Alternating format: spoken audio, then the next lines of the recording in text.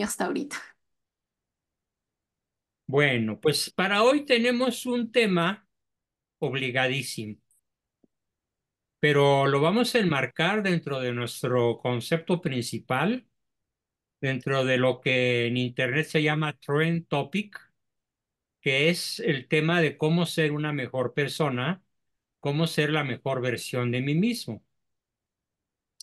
Para lo cual quiero recordar, para empezar, de manera introductoria, quiero empezar lo que es un ser humano. Es una unidad. Eco, bio, psicosocial, trascendental o espiritual. Es una unidad. Por lo cual no podemos separar ninguno de los cinco aspectos respecto de los otros cuatro. Y tampoco podemos dejar de pensar que cuando un solo aspecto, cualquiera de los cinco, es afectado, instantáneamente, al ser nosotros una unidad, los otros cuatro aspectos también sufren. Aunque no de manera demasiado obvia y a veces no de manera demasiado rápida. Pero a veces sí. A veces la afectación mortífera es instantánea y afecta a toda la persona, porque somos una unidad eco-biopsicosocial trascendental. Explico por qué puse para empezar esta hermosísima imagen de la casa de ustedes con la entrada principal, para contarles una brevísima historia. Cuando yo llegué hace 22 años a esta casa, todo lo que ustedes ven ahorita verde, no había absolutamente nada. Era un terreno arenoso, un terreno feo. Lo bonito era la casa, pero el terreno colindante con la casa de ustedes era un lugar áspero, inhóspito, con tal vez una que otra hierba de esas silvestres que por cierto llena de espinas, horrible y hasta venenosa. Y entonces mi esposa y yo decidimos utilizar la primera parte de la unidad que somos, la inteligencia ecológica. El resultado, 22 años después, es lo que ustedes ven. Varias araucarias enormes. A la izquierda vemos una de 10 metros de altura. A la derecha tenemos una de 15 metros de altura, ya no se ve la cúspide. En el fondo hay otra todavía más alta que crecieron en estos en este par de décadas que hemos estado aquí. Vemos plantas verdes perennes, vemos eh, una bugambilia por ahí, hay varias que está tapando la araucaria de la izquierda y en el fondo vemos una montaña con un talud de aproximadamente 90 metros de alto, que nos favorece mucho porque el agua de la lluvia cae hacia el jardín y lo, lo riega con, cuando llueve con más agua de la que podría ser llenada. Mi esposa fue la que escogió la casa porque ella ecológicamente es más inteligente que yo.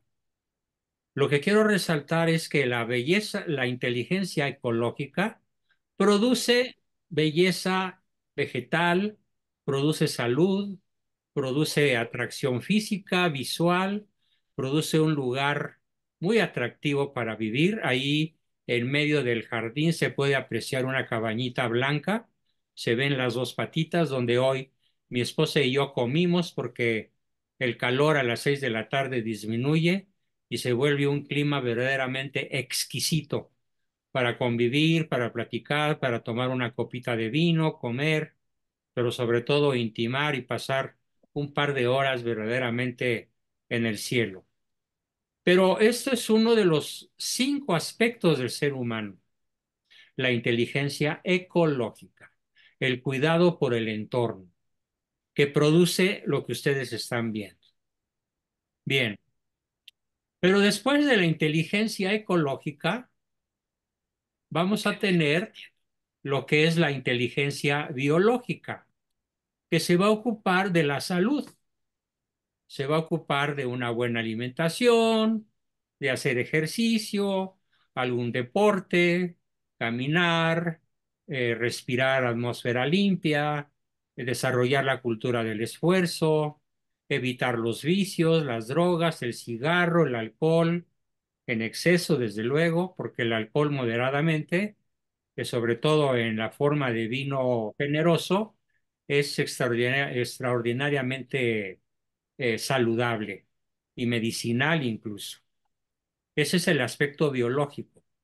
Luego tenemos el aspecto psicológico, que está formado por las tres facultades primordiales del hombre, la inteligencia, la voluntad y la memoria. Entonces, cuando ejercitamos nuestra inteligencia, nuestra voluntad y nuestra memoria, estamos pareciéndonos a Dios, porque lo que más nos asemeja a Dios es justamente el ser inteligentes, el tener libre albedrío, una identidad que nos permite recordar quiénes somos, de dónde venimos y sobre todo tener plena conciencia de a dónde vamos a ir a dar si vivimos de manera coherente con nuestros valores, nuestras creencias, nuestras virtudes y sobre todo nuestra religión. Eso es lo que vamos a considerar entonces la inteligencia psicológica. Ya llevamos entonces eco, bio, psico. Pero aquí sigue la que de hoy nos vamos a ocupar, la inteligencia social. ¿Qué es la inteligencia social? Bueno, pues la inteligencia social es la que permite a la humanidad pasar de la chusma, de la horda, a formar comunidades organizadas en un pueblito, en una ranchería, en una ciudad, en una nación, en un continente o en el globo terráqueo. Entonces, a ver, tengo que silenciar al grupo, perdón.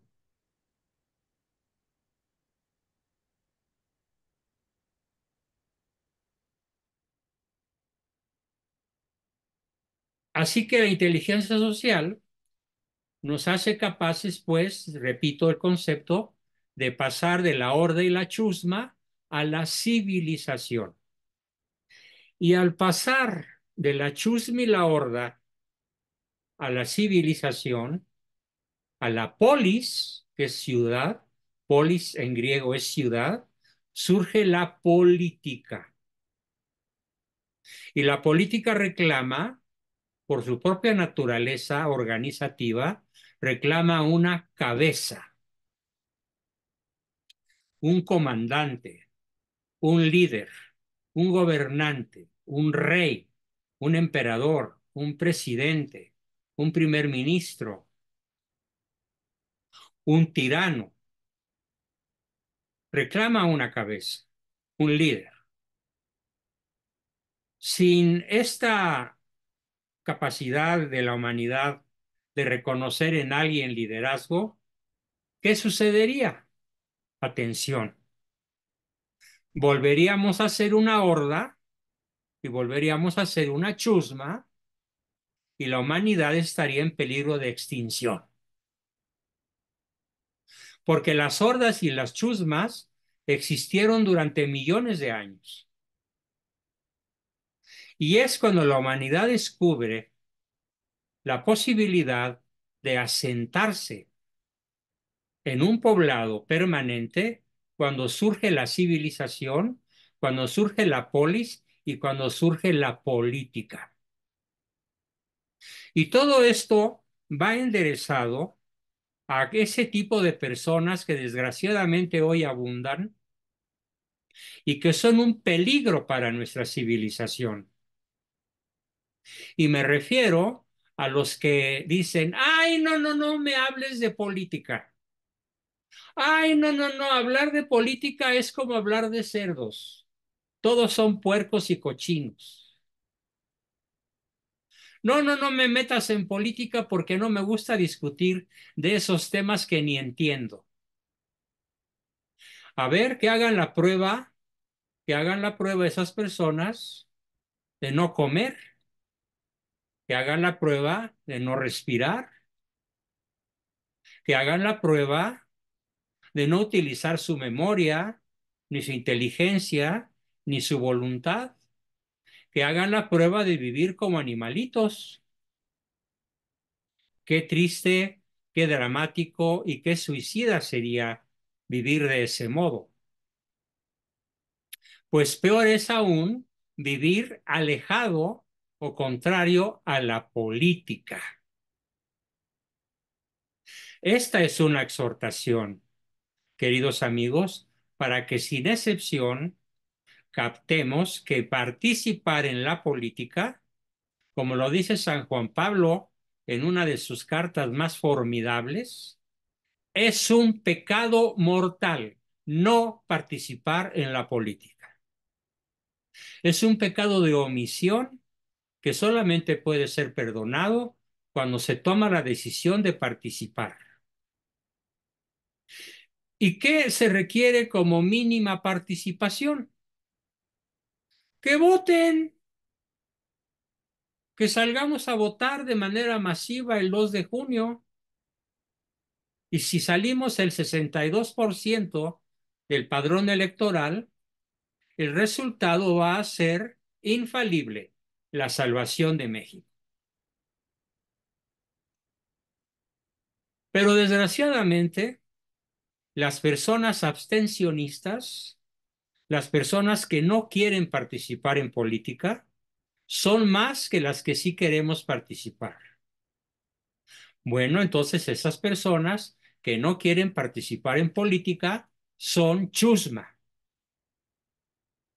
son horda, estorban e impiden tener un gobierno que salve la patria. Impiden tener un gobierno que vea por el bien común. Impiden tener un gobierno que verdaderamente sea humanista. No en el sentido en el que lo plantea la izquierda, sino en el sentido en el que lo plantea el centro y la derecha. Un partido, una visión de la política en la que realmente se contemple al ser humano como esa unidad eco-bio-psicosocial. Y ahora viene el último aspecto, el aspecto trascendental. Aquí hay dos tipos de trascendencia a las que me quiero referir. Tenemos primero la trascendencia histórica, que es dejar una huella en nuestra comunidad, dejar una huella, como se dice románticamente, ten un hijo, siembra un árbol, escribe un libro, dejas huella, escribe un libro, siembra un árbol, ten un hijo. Es una manera de trascender históricamente. Pero en realidad, cuando hablamos de la trascendencia humana, no nos vamos a referir a esas tres cosas que comprenden la trascendencia histórica. Nos vamos a referir a aquello que hace que el ser humano trascienda y vaya más allá de su muerte y viva en una eternidad feliz, al lado de Dios, siendo elevado al orden sobrenatural, de tal manera que conocerá el universo como Dios lo conoce y poseerá la creación como Dios la posee, y amará y conocerá a Dios a la altura en que se ama y se conoce Dios a Él mismo. Eso significa elevación al orden sobrenatural y esto significa trascendental o trascendencia. Pero, oh sorpresa, no podrás trascender ni histórica ni espiritualmente si no participas en política. Porque el pecado de omisión política es imperdonable a menos que te arrepientas a tiempo y tengas una participación activa, en la cual tu voto, que es por ahora el único muy pobre, muy limitado, muy díscolo recurso que nos dejaron los sionistas que hicieron la Revolución Francesa a fines del siglo XVIII para darnos una probadita de lo que sería la verdadera democracia, como lo fue en Grecia, en donde los votos no eran contados. En Grecia, mis queridos amigos, los votos eran pesados, es decir, se sopesaban los votos de las personas más cultas, más virtuosas, más creativas, más inteligentes, más generosas, más entregadas a la comunidad. Ellos eran los que asumían el poder por aclamación del Senado o por aclamación de los ciudadanos libres que podían influir en la opinión de los senadores. Por lo tanto, los votos en la verdadera Grecia democrática que nunca volvió a existir no eran contados, sino eran pesados. Lo que nos queda a nosotros es muy limitado, contar los votos. ¿Y por qué digo yo que es muy limitado? Por una sola y única razón, habiendo muchas. Solo diré una. Porque el voto de una persona ilustrada, de una persona consciente, libre y conocedora de por quién vota y por qué vota por ella y para qué vota, vale lo mismo que el del analfabeta, que el del chairo, que el de la persona a la que se le dio una dádiva, que, que el voto de la persona a la cual se le tomó una foto en la boleta que marcó con las siglas del, P, del, partido Morena, so pena de ser su familia asesinada, con so pena de ser expulsado de su trabajo o so pena de ser expoliado totalmente de todos sus recursos. Eso es lo que hoy está operando Morena. Miles y miles de casillas, no sé cuántas, pero muchos miles de casillas, el día 2 de junio van a estar tomados por guatemaltecos, salvadoreños, centroamericanos, jamaiquinos, africanos, armados que van a obligar a la población a votar por Morena, por Claudia Sheinbaum y todos los gobernadores de Morena. So penas gravísimas. Nunca en la historia de México había habido tantos asesinatos de políticos contendientes por un puesto de elección popular. Van más de 240 asesinados en lo que va del sexenio de aspirantes a un puesto político. Y en los últimos meses de enero a la fecha, más de 100 personas han declinado continuar en la lucha política por temor a ser asesinados ellos o sus familias o ambos. Por eso decimos que hoy México es una narcodemocracia y por eso, con toda la razón del mundo, Xochitl Gálvez le dice a la candidata de las mentiras, narcocandidata.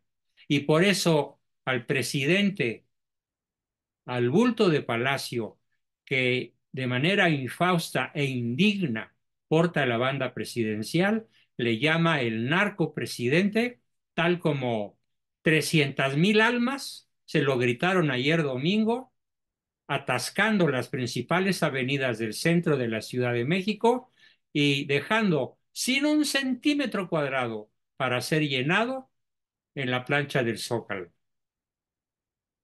Los maestros que estaban allí ya sentados desde un par de días antes habían prometido que iban a permitir la llegada de los de la marea rosa pero a la mera hora se echaron para atrás como buenos esbirros del peje y en vez de permitir el acceso de los manifestantes de la marea rosa, intentaron impedírselos con machetes, garrotes y palos.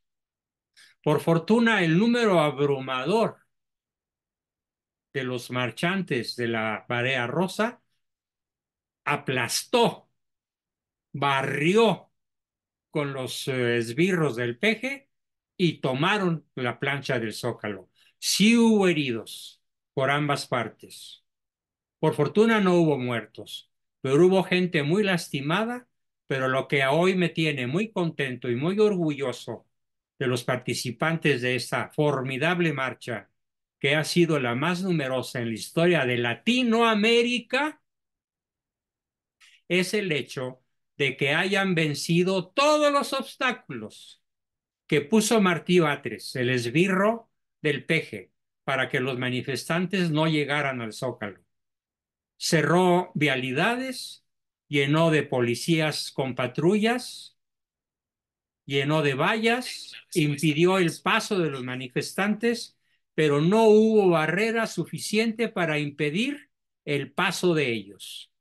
Se impusieron y tomaron el zócalo por la fuerza, por el número, por la aplastante multitud que superó cualquier expectativa del bulto de Palacio, que debe estarse zurrando de lo que escuchó a lo largo de un par de horas o más que duró la manifestación. Bravo por ellos. México vive. Todavía está vivo México. Lo más interesante es que no hubo solamente clases medias, sino de todas las clases sociales. Yo vi declaraciones de viejitas, prietitas, zapotecas de Oaxaca, hablando buen español hasta eso, diciendo por qué estaban ahí, que estaban hartas de la tiranía y que habían hecho el viaje desde Oaxaca, desde Chiapas, para venir a apoyar a la Marea Rosa gente de donde palpita el pueblo, con sus sombreros de indígenas, con sus ropas de indígenas.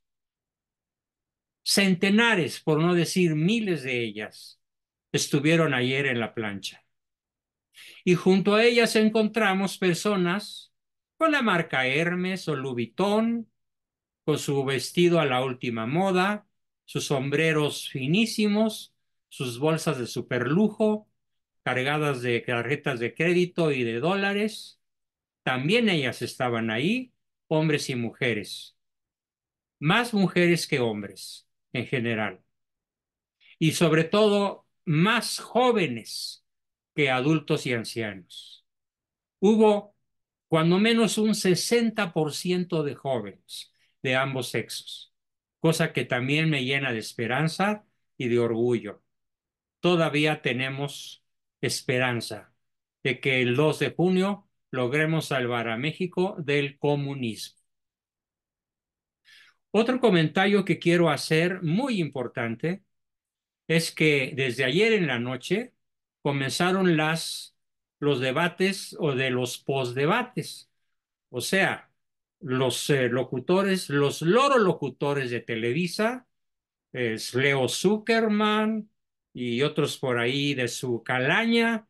La, esta, eh, una chica, se me escapa ahorita su, su nombre, mi memoria no está funcionando muy bien en, en estos momentos porque tuve una desvelada terrible por la ansiedad, por el júbilo, por la rabia que me dio escuchar a los participantes de, las, de los postdebates, que se le tiraron a la yugular a Claudia Sheinbaum. Perdón, a Xochitl Galvez y ensalzaron como diosa a la búlgara esta, anti-mexicana, atea, hija de ateos, hija de una señora búlgara que nació en Bulgaria, no en México. Hoy estuve escuchando un audio que se me perdió en, más que se me perdió, lo borraron después de que lo escuché, ya no lo pude encontrar, donde narran la verdadera historia de los progenitores, por el lado paterno y por el lado materno, desde los abuelos de la Claudia Sheinbaum. No merece ser candidata ni siquiera de una ranchería, mucho menos de un estado y muchísimo menos de la República Mexicana, porque ni es mexicana, ni es católica, ni tiene sangre mexicana y es una extranjera de padres extranjeros, de madre extranjera y papá nacido en Guadalajara, pero de familia judía. Todo esto lo negaron y exaltaron como diosa a la Shilbaum y pisotearon a, a Xochitl Galvez los lorolocutores oficiales de Televisa. Sin embargo, hoy que empecé a ver otros postdebates, me encontré con verdaderas joyas. Carlos Loré de Mola, Broso el Payaso, eh, Roger Bartra y lo más sensacional que ocurrió hoy. Se los platico para que lo disfruten. Un grupo de 240 intelectuales, casi todos de la UNAM, casi todos de pensamiento de izquierda, casi todos liberales o neoliberales, pocos católicos, pero personas de mucho nivel cultural, políglotas muchos de ellos, casi todos maestros o doctores universitarios, que habían sido fieles a Claudia Sheinbaum hasta el domingo por la noche cuando terminó el debate, 20 minutos antes de las 10. Y hoy decidieron en masa pasarse todos a darle su voto a Xochitl Gálvez. ¿Qué milagro ocurrió? Formidable. No lo sé, no sé qué los movió.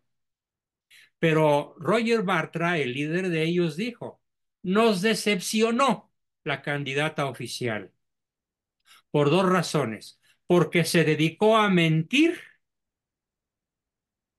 y porque se dedicó a atacar sin fundamento a una persona demócrata y se nos viene encima la tiranía, la tiranía tipo Cuba, tipo Venezuela, tipo Nicaragua, si permitimos que Claudia tome el poder. Y se cambiaron todos de bando. Sin excepción, los 240 intelectuales universitarios que habían sido apoyadores de la, de la hasta ayer en la noche. Así que la toma del zócalo por los manifestantes, contra viento y marea.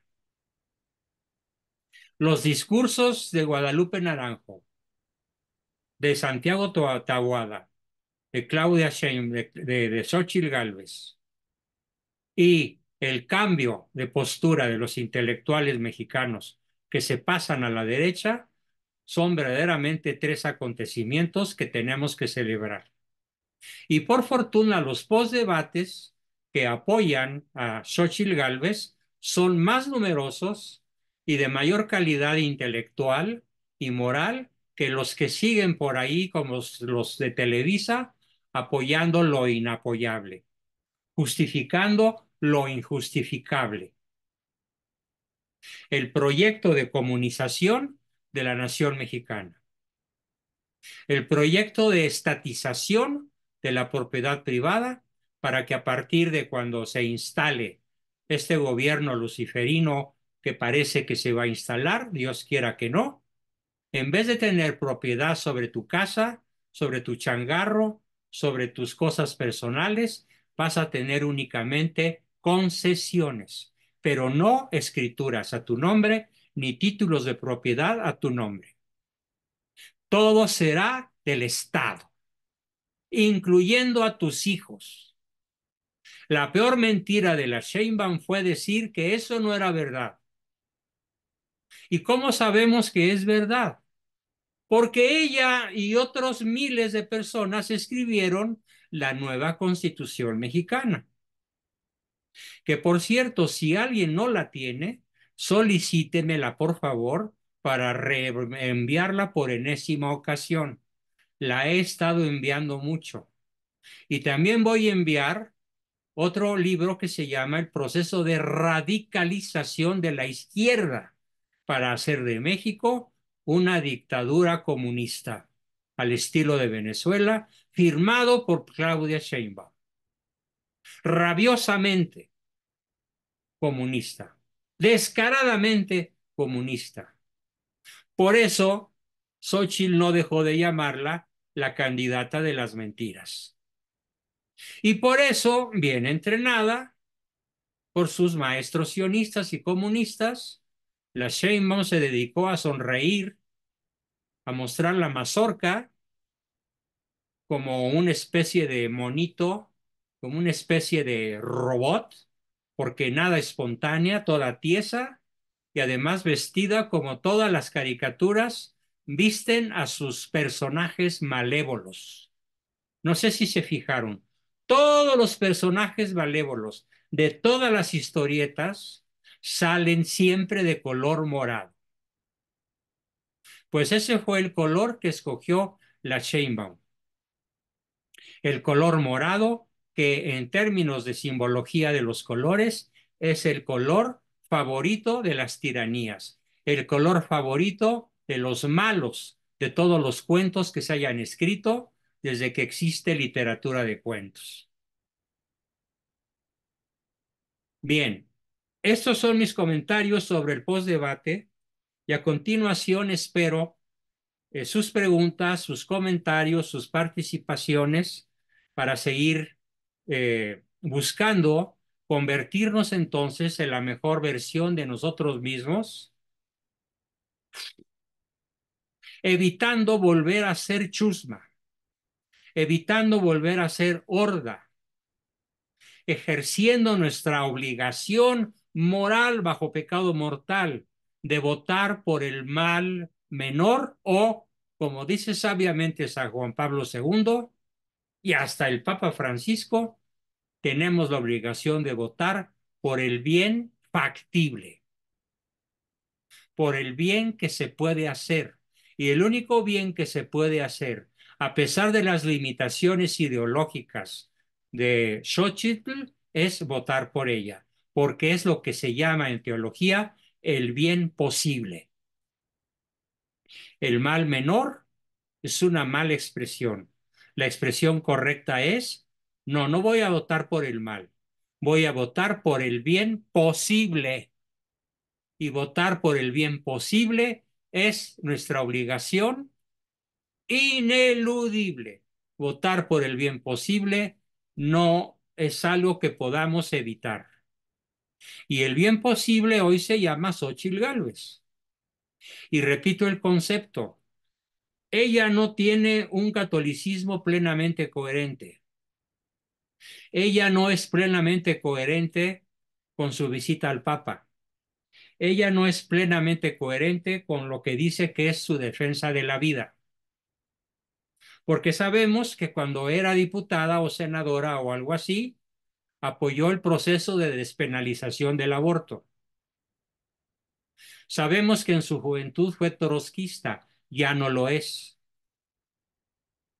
Sabemos entonces que no es Santa Juana de Arco ni un dechado de virtudes, pero Pío XII, Juan XXIII, Pablo VI, San Juan Pablo II, Francisco I sostienen que cuando un católico no ejerce su obligación a votar por el bien posible, peca gravemente, porque está renunciando a una de sus características principales, que es el ser una entidad social. Y al no votar como una entidad social por el bien posible, se traiciona a sí mismo, traiciona a su familia, a sus hijos, a sus nietos, traiciona a la patria. Y lo dice San Juan Pablo II de una manera contundente. Traiciona a la iglesia y traiciona a Cristo y en cierta forma lo vuelve a crucificar. No nos queda otra salida.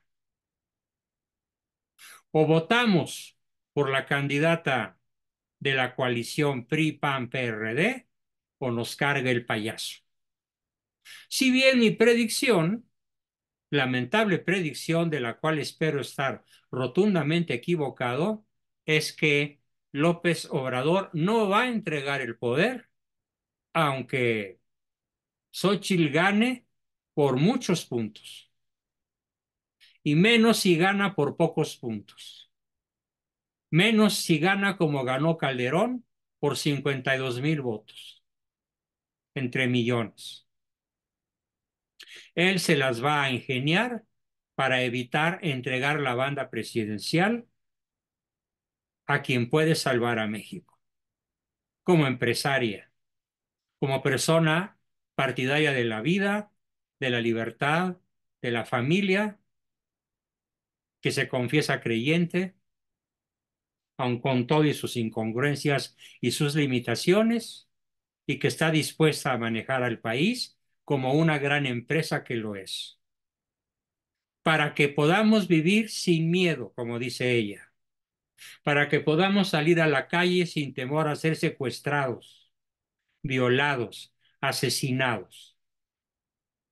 Fue verdaderamente patético el final de la sobremesa del posdebate de anoche, en donde todos los eh, participantes de esta mesa invitaron tanto al director o presidente del partido Morena, que negó toda la barbaridad que pesa sobre él, está indiciado por el gobierno de los Estados Unidos como el rey del huachicol y muy pronto lo van a meter a la cárcel.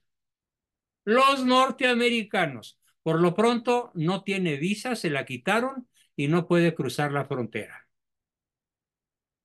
Pero la DEA es capaz de mandar un piquete de agentes de la DEA, pepenarlo y llevárselo a Estados Unidos si es que el gobierno no lo entrega aquí. Pero eso sí, si gana Xochitl, seguro lo entregará. Si logra recibir la banda presidencial, seguro que el presidente de Morena irá con sus huesos a la misma cárcel donde está Genaro García Luna.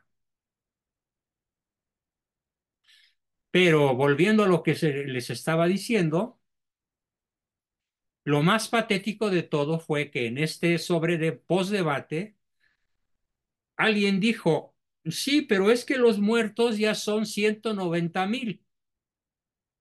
Y en el periodo de Calderón solo hubo 110 mil. Y entonces los defensores de la Shibam dijeron, Ah, pero vamos a la baja.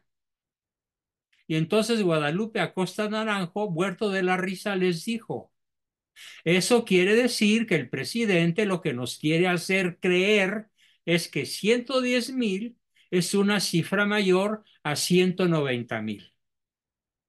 Díganme ustedes, señores dirigentes del debate, ¿qué es mayor, 110 mil o 190 mil?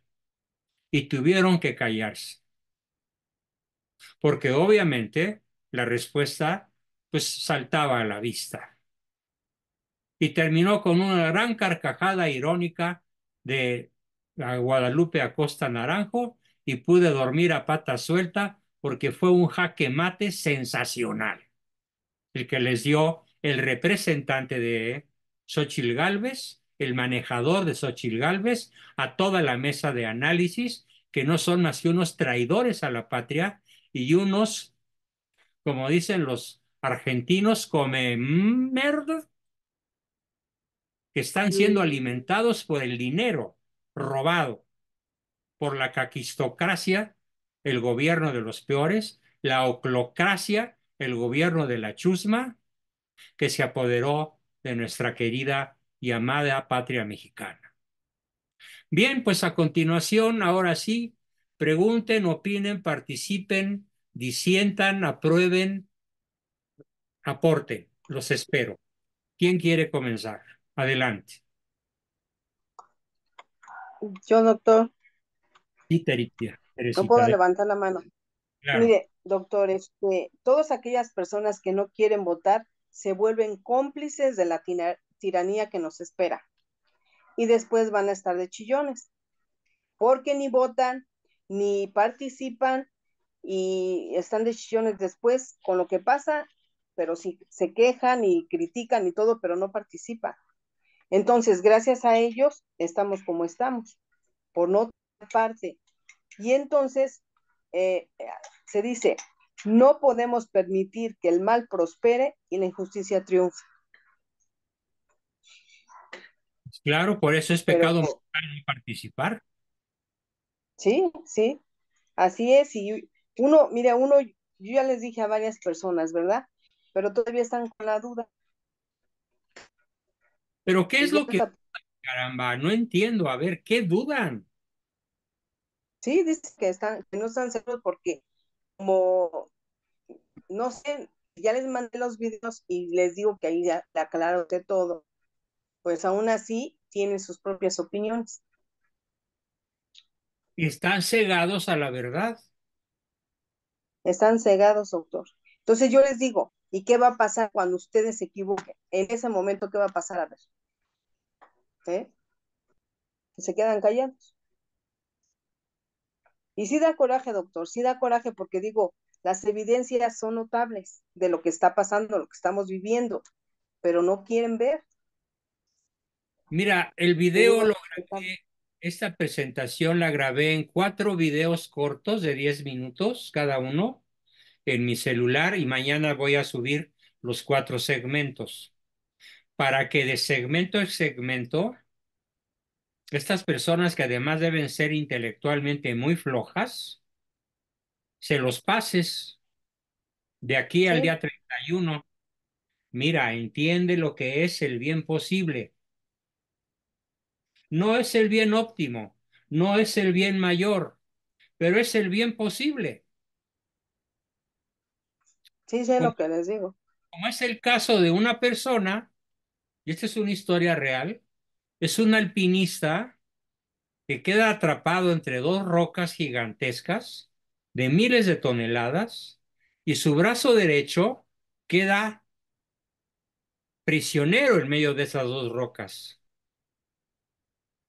¿Qué tiene que hacer para salvar su vida? Fíjate qué tiene que hacer. Sacar su cuchillo y cortarse el brazo. Dejar el brazo aplastar las rocas y caer 10 metros abajo, casi desangrándose, pero se lía una serie de trapos ahí, se amarra para que no se desangre y logra llegar vivo a un pueblo donde es atendido por los doctores y salva la vida. ¿Qué hizo? ¿Un mal o el bien posible? El bien posible. El bien posible. Sí, pues no le quedaba de otro. O vivía o, se moría. O se moría. Pues así está México. O votamos por Xochitl o nos morimos. Sí. Como nación. Nunca volverá a haber ninguna manifestación como la de ayer. Nunca volverá a haber democracia. Nunca volverá a haber elección de gobernantes. Si de por sí ha sido todo tan mal hecho y tan chueco en los últimos 90 años, esto sería verdaderamente infernal, porque estas personas no tienen idea de cómo viven en Cuba, en Nicaragua, en Venezuela, y para dónde van Chile y Bolivia y Colombia. Sobre todo Colombia en manos de Petro ya está casi como Venezuela. Gracias a la plena adhesión rabiosa a la agenda comunista del proyecto 2030, de la Agenda 2030. Ponles el ejemplo del alpinista que pierde el brazo y se lo tiene que cortar con su propio cuchillo. Imagínate dolor de tener que hacerlo. Pero salva su vida. Sí. Entonces, ¿qué tenemos que cortar? tenemos que cortar con nuestros paradigmas religiosos. Yo no voy a votar por una abortista porque amo a Cristo. No seas idiota, córtate el brazo, me salva la vida. Primero. Primero. Ok, doctor, así les voy a hacer. Por ya por último, ¿verdad? Todos pongan ese. ¿Sí? o el de la persona a la cual le tienen que amputar las dos piernas para seguir vivo. Yo he visto accidentes en moto. Yo fui conductor de motocicleta por más de 60 años. Me tocó ver accidentes terribles, sobre todo en la México Cuernavaca. Y, y me tocó saber de compañeros, de amigos que perdieron las dos piernas en el accidente de motocicleta, pero la amputación de las piernas les salvó la vida. Y ahora ellos andan en silla de ruedas, pero así trabajan. Y así son jefes de familia y así educaron a sus hijos. Salieron adelante. Salieron adelante. Sí. En fin. Así es, doctor. ¿Quién más? Gracias.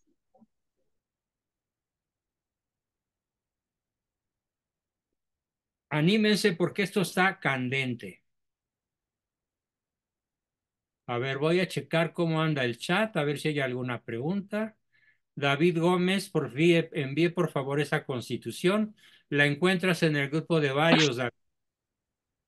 ¿Estás en el grupo de varios? David. Parece este, que ya. No, me llegó, me llegó una invitación. ¿Te llegó cuál invita? Ah, para la sesión de hoy.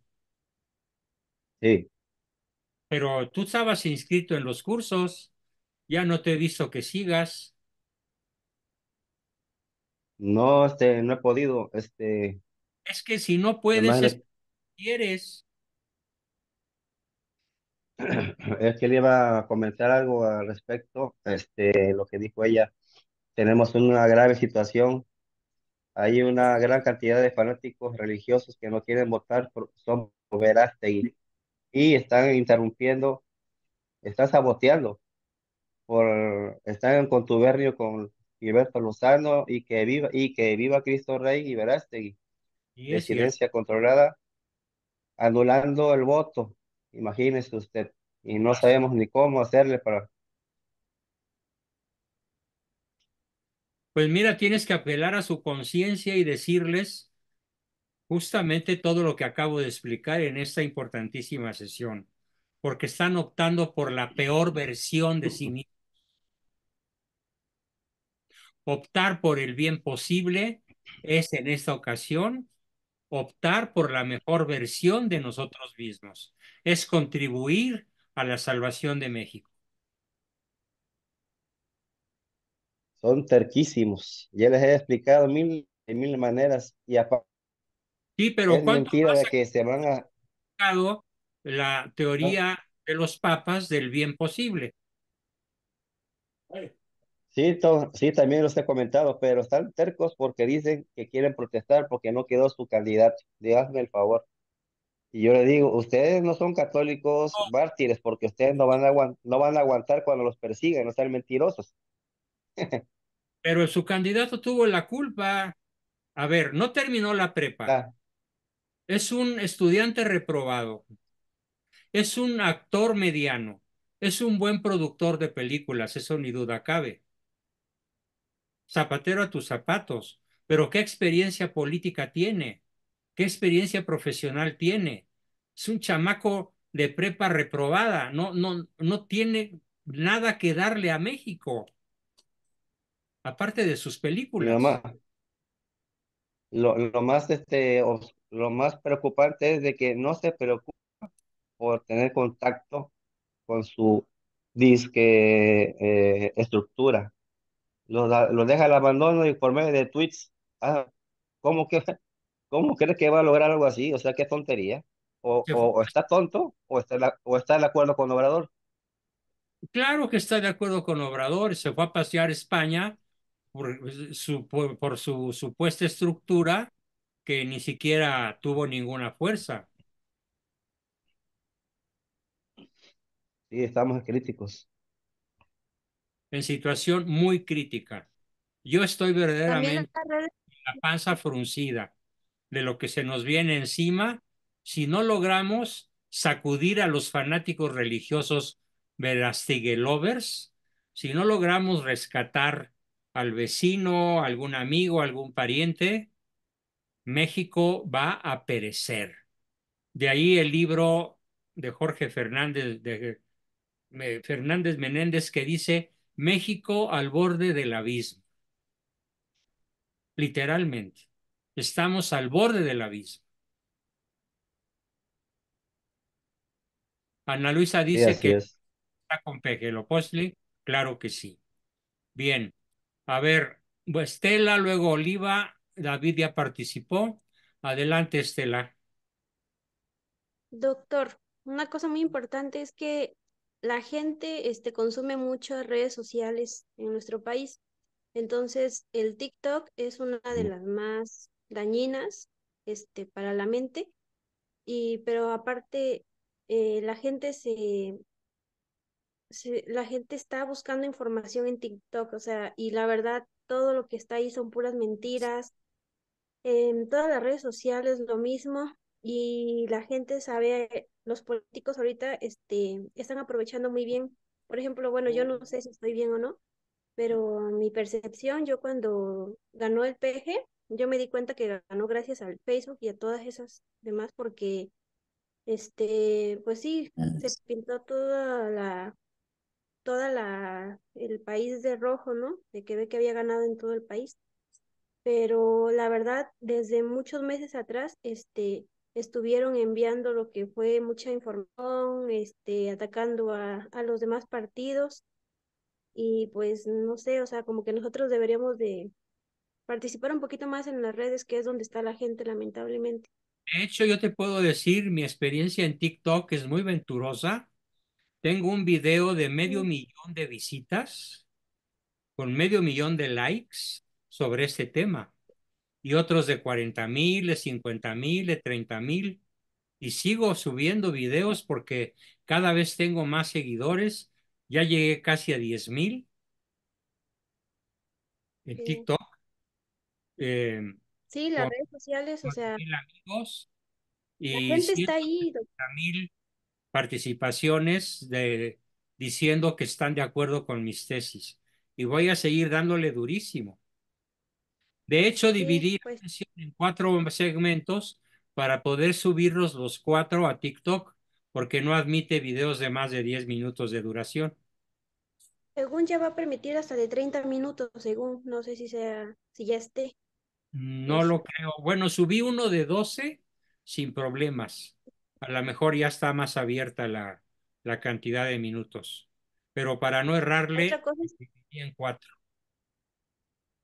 Eh, hay una, hay una iniciativa en Estados Unidos que ya van a prohibir el TikTok. No sé si aquí lo mencionaron antes, que ya... Sí, sabemos que en Estados Unidos Biden quiere cerrar TikTok porque los TikTokeros son mortales enemigos de su pésimo eh, gobierno.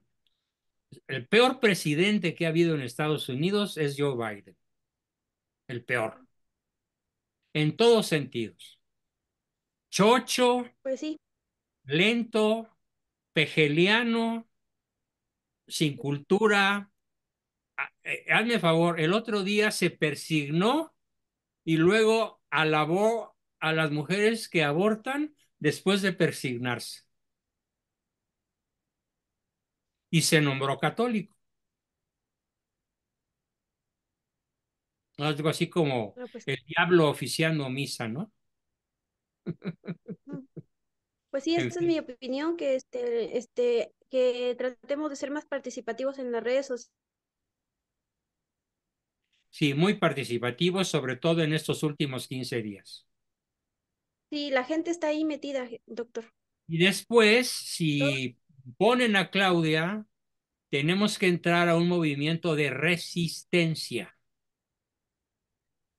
y volver a llenar el zócalo y todas las plazas que se llenaron ayer a reventar para decirle no te queremos, lárgate. Votaron por ti, por ti la chusma, los ignorantes, los comprados, los maiciados, esos votaron por ti. No te queremos. Si podemos hacer una labor de resistencia, probablemente logremos cambiar la historia. Lo hicieron los europeos se tardaron, pero finalmente echaron al comunismo de Checoslovaquia, Yugoslavia, Bulgaria, Hungría, acabaron con el comunismo los pueblos, no los gobiernos. Bien, tenemos a Oliva Cardona y a Jaime Contreras. Adelante, Oliva. Sí, gracias. bueno, un comentario que quería hacer de un video que tiene Pablo y Turrieta. Pablo Ah, él me... ¿Perdón? Es Pablo Muñoz. Ok, Eh, pero él menciona que en Colombia eh, están aprobando o presentando una ley súper nefasta para los niños donde se les facilita todo para hacer el cambio de género. El sexo, de la transexualidad es así por Petro, sí. Sí, entonces, si esas leyes tan nefastas allá están y sabemos lo que es el comunismo a través de testimonios de personas que han pasado sobre eso, entonces eh, nuestra obligación es seguir y seguir dándole duro a las personas, aún nos sigan diciendo que no y todo eso, pero nosotros tenemos que seguir. Eh, yo ayer escuché en una radio, eh, tengo conocidos en esa radio, pero estaban hablando súper pestes de la Xochitl. Y entonces yo pues me pongo y, y les digo, pues ahí muy bajita la mano, pero bien duro que les di, porque tenía la constitución. Entonces, eh, en la radio, pues eh, yo, yo ya anteriormente había hablado. eh, y siempre que hablo, siempre hay mucha gente que habla bien de los comentarios que yo hago. Entonces, eh, como estaban, yo dije, mira, la constitución, la nueva constitución es esto. ¿Quién de estas personas, de tu auditorio que te escucha y que tiene la inteligencia para cumplir esto, van a estar de acuerdo con esto? Y entonces ahí se tiró un debate tremendo y estuvieron ahí. Pero yo creo que por todos los medios que sea posible, seguir uno hablando y diciendo lo que Dios nos da a entender y gracias por su abrida de, de memoria para nosotros, el conocimiento que nos ha dado. Yo estoy muy agradecida porque de esta manera pues conozco más, tengo herramientas para defenderme y bueno, pues muchísimas gracias, profesor. Gracias, Oliva. Me alienta mucho tu, tu, agradec- tu agradecimiento, tu reconocimiento. Y bueno, ¿quién más? Todavía teníamos por ahí otro participante. Este, déjenme ver quién es. Ah, Jaime Contreras. Adelante, Jaimito. ¿Y qué tal, doctor? Buenas noches. Mire, doctor, eh, yo conocí a una persona en, un curso, en un curso que tomé, y esta persona acaba de postear, bueno, ayer posteó algo en, en, en Twitter, ahora X, me gustaría leérselo porque creo que es muy ad hoc para, para la ocasión. Dice, tengo la gran necesidad de emitir una postura personal. Yo colaboré en la aspiración de Eduardo Verástegui con la ilusión de tener un candidato auténtico. No se logró la candidatura y lo lamenté. Sin embargo, no estoy de acuerdo con anular el voto escribiendo el nombre de un candidato no registrado. Votaré buscando el bien posible. Sé que Xochitl Gálvez es abortista y progre, pero no me mueve el miedo. La plataforma que registró tiene propuestas de políticas a favor de la vida y la familia, además de que esta señora tiene gente buena con quienes pudiéramos tener diálogo. No la votaré por miedo al comunismo, la votaré porque creo que tendré posibilidades de luchar por el derecho a vivir en toda etapa de desarrollo, la familia, las libertades y los derechos de las mujeres que se basan en nuestro sexo. De manera individual, registré más de 260 firmas, pero cambié de opinión. Buscaré el bien posible. Ella se llama Alejandra Yáñez Rubio y solo me emociona ver que creo que ahora, después de esto que ha visto la gente, yo creo que tiene más posibilidades de, de reconsiderar su opinión respecto a Verástegui y respecto a su voto. Es todo, doctor. Magnífico, porque además me gusta muchísimo que haya hecho mención de manera filosófica a lo que nos puede salvar, el bien posible. Se nota que es una chica o señora muy lista, muy inteligente, que debe tener capacidad de lectura porque ese concepto lo conocen muy pocas personas. El bien posible, que además en un momento como este se vuelve obligatorio. Hay que conseguirla para que se venga al grupo. Bien, José Lule, adelante, Pepe. Eh, doctor, buenas noches, buenas noches a todos. Eh, me pareció muy acertado que Xochitl Galvez haya eh, denunciado que Claudia Schittman mandó tirar una iglesia.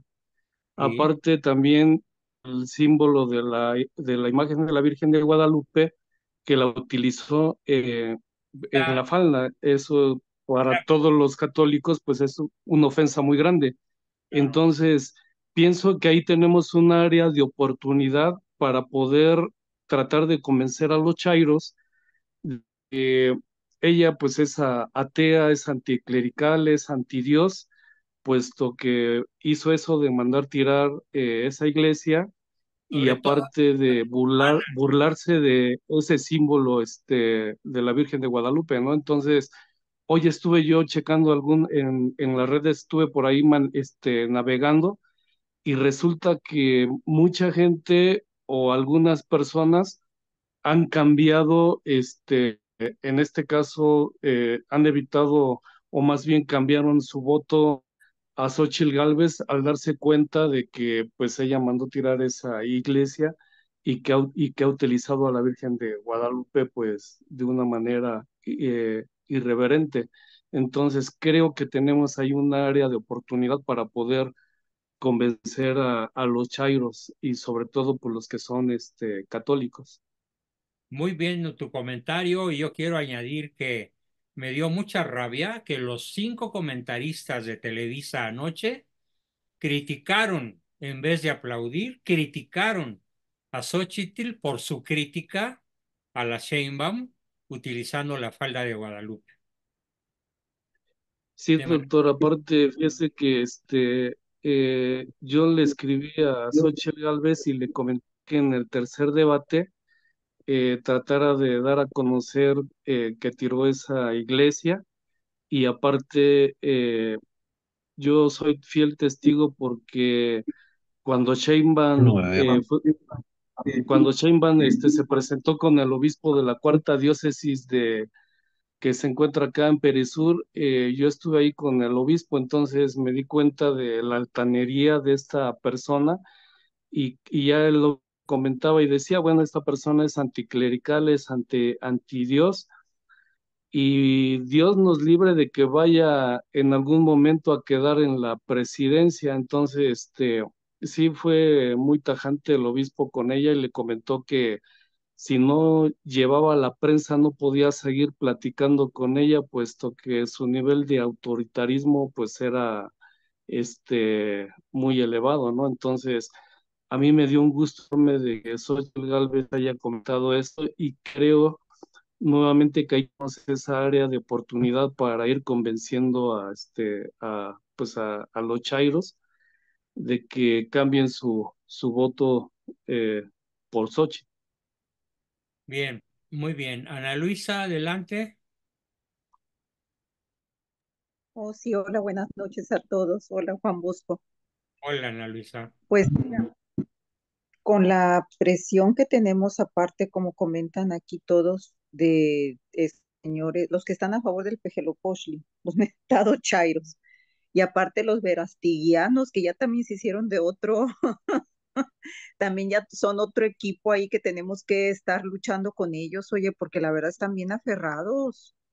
Yo también por más que les he dicho a las personas, ay no, yo voy a poner Eduardo Verástegui, quién sabe qué, porque yo no voy a manchar mis manos. Le digo, oye, ¿tú prefieres hacerle caso a ese mentado Verástegui que a nuestro párroco? Y no es, no es un párroco cualquiera el que nos está diciendo, el que nos dijo, en lo que a mí en lo personal me lo dijo. Y se lo volví a preguntar y me lo volvió a confirmar. O sea, y aparte por convicción también, y estas personas aferradas, no, yo no voy a manchar mis manos, yo no voy a manchar, ay Dios mío, le digo, qué gente tan, ay, no, no, no. Mira, Juan Bosco, yo sé que estamos, tú estás enfermito y no te quiero estar preocupando mucho. yo también me enfermé de mi estómago por estar pensando en todo esto. Ay, Dios, es algo. Ya estoy curtido. es algo que pues que no te quiero quitar el sueño tampoco, pero es que sí, de verdad están las muy difíciles. Y yo me he puesto a pensar en lo que tú dices, de que vienen estas personas de Centroamérica, de El Salvador, de no sé qué tantas partes, claro que van a estar ahí y están ahí. Todas esas personas están, pues él los trajo para eso. ¿A poco no? Y hasta les dio credencial del INE. Sí, entonces la tenemos, la tenemos un, bastante difícil, pero pues esperemos un milagro de Dios que la gente está, mira, si por lo menos estos del mentado Verástegui eh, pusieran, abrieran su cabeza, parece que son gente que está no sé dónde, y ya votaran, o sea, ya con ellos ya fuéramos más, pero pues yo veo que hay bastante gente que está a favor, nada más que también utilizan muchos bots, eso también, ¿eh? Para llenar la red de que Mira, los lovers, los los los eh, lovers, que bueno, es un changuito, es un changuito, ¿eh? Y, pobre culpa tienen. Eh, están dividiendo el voto de una manera verdaderamente letal.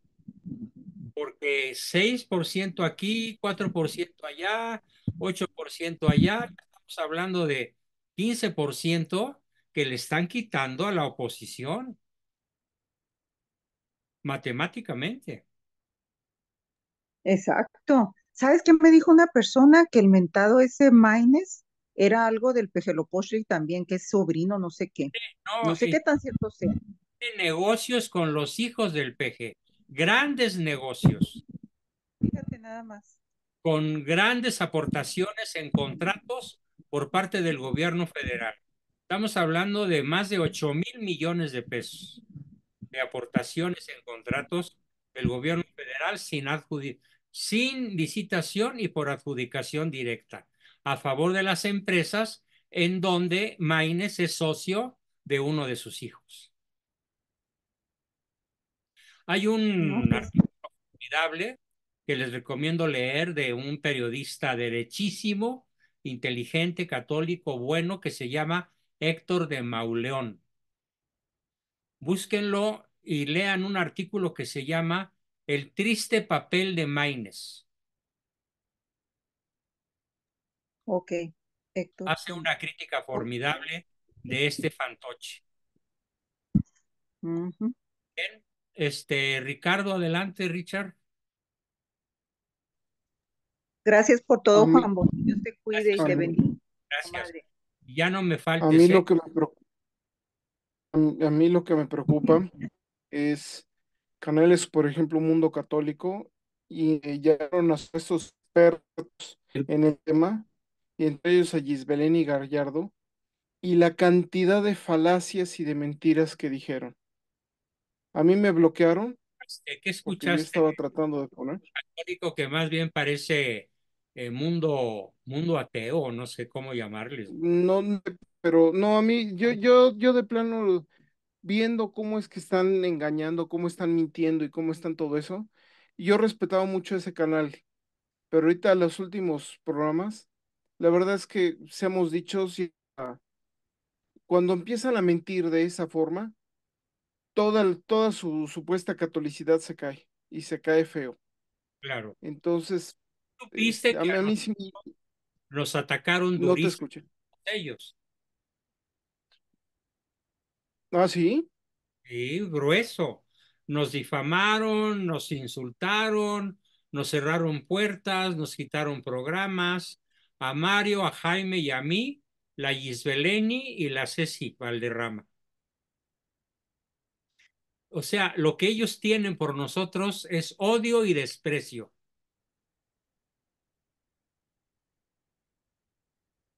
Literalmente.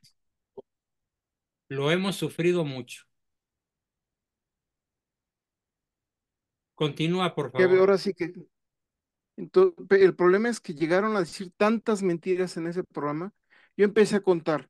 Perdí la cuenta como en treinta y tantas falacias y muchas de ellas dichas por, por Ceci y por un güerito que, que luego anda con ella. Ay, Y volteas a ver y dices, y se dicen católicos, están mintiendo, están, están ignorando las, las, las indicaciones del episcopado, están ignorando al, al- a los papas, están ignorando muchas cosas.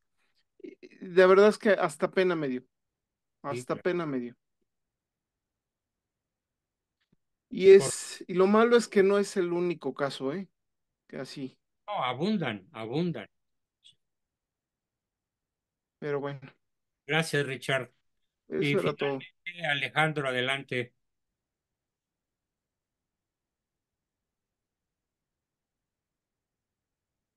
Ah, no se te oye, Alex. Enciende tu micro. Siempre te tengo que decir que enciendas tu micro.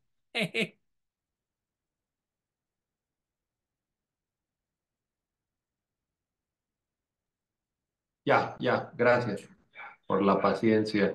Este, eh, bueno, eh, definitivamente hay un, eh, un auge, ¿no? De, de expresión masiva en, detrás de Xochitl y desde luego tiene un- unos puntos muy positivos que ahorita no tiene caso meterse en los negativos, que también son bastantes y muy obvios.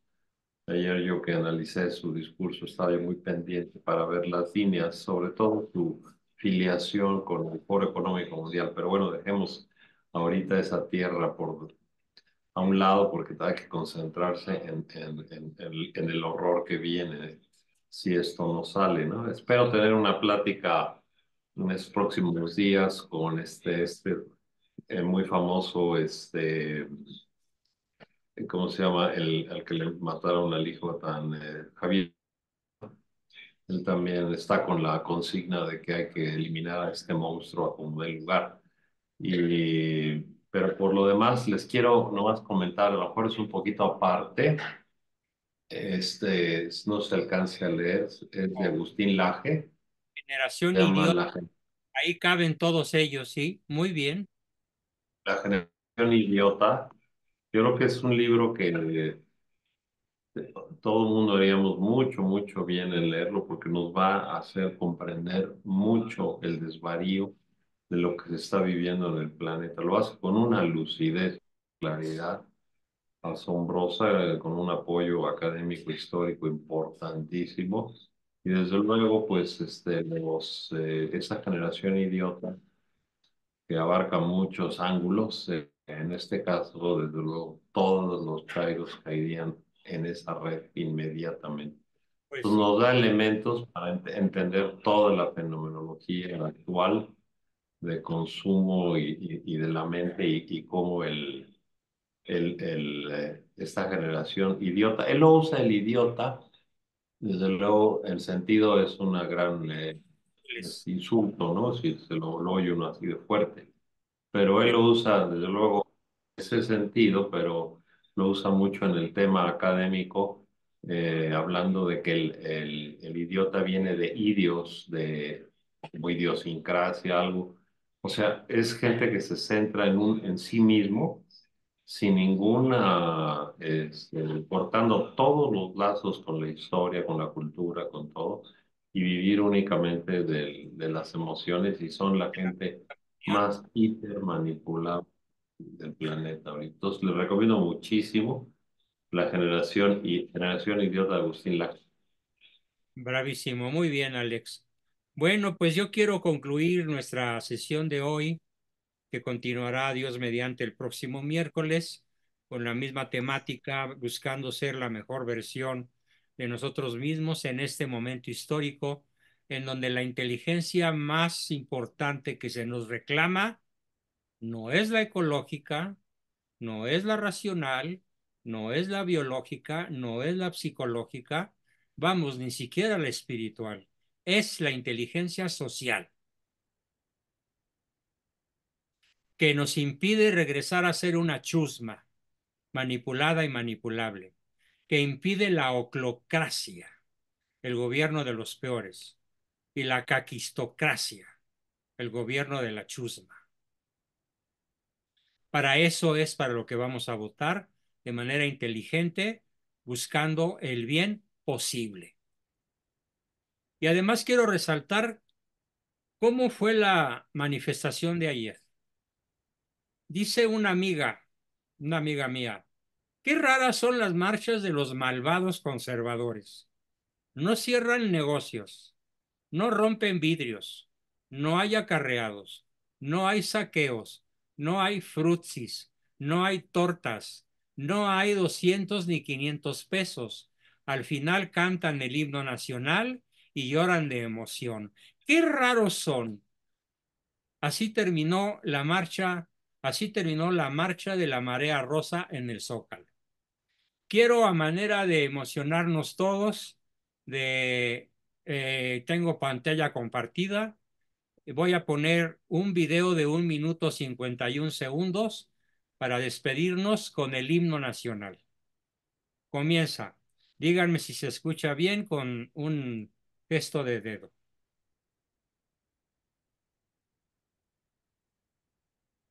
¿Va? Por favor.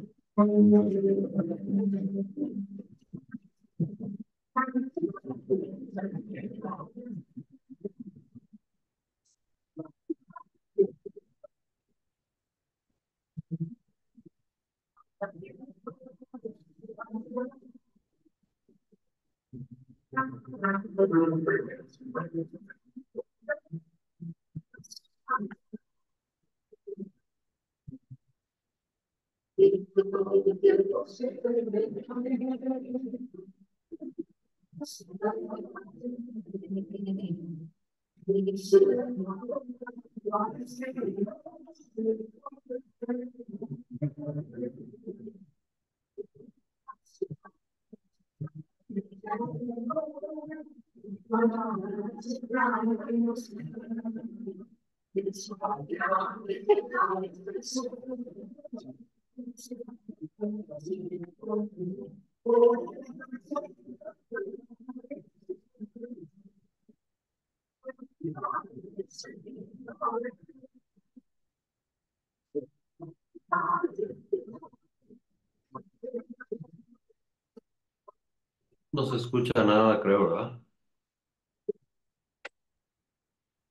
se oye bien.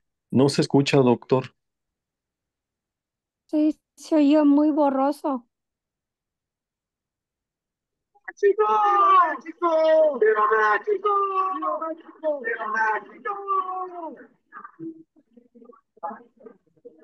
Eso sí se oyó bien. ¡Viva! ¡Que viva México! ¡Que viva! Bien, parece que, Cristo parece que hay esperanza. Luchemos poniendo cada uno de nosotros nuestro granito de arena, buscando ser la mejor versión de nosotros mismos en cuanto a nuestra tremenda obligación social para evitar la desaparición de México como lo conocemos, convertido en una chusma, convertido en una tribu dirigida por un grupo de tiranos. Bien, queridos amigos, nos vemos el miércoles, Dios mediante. Que pasen muy buenas noches, que nuestro sentimiento principal sea de esperanza y de pedirle a la Virgen y de pedirle a Dios que nos ayude a pasar bien este al borde del abismo en el que estamos. Gracias a todos y hasta el miércoles. Muy buenas noches. Chao. Buenas noches a todos. Buenas noches, doctor. todos. Buenas noches a Dios todo los bendiga. Buenas noches, profesor. Gracias. Bendiga a todos. Viva la Virgen de Guadalupe. Viva. Viva.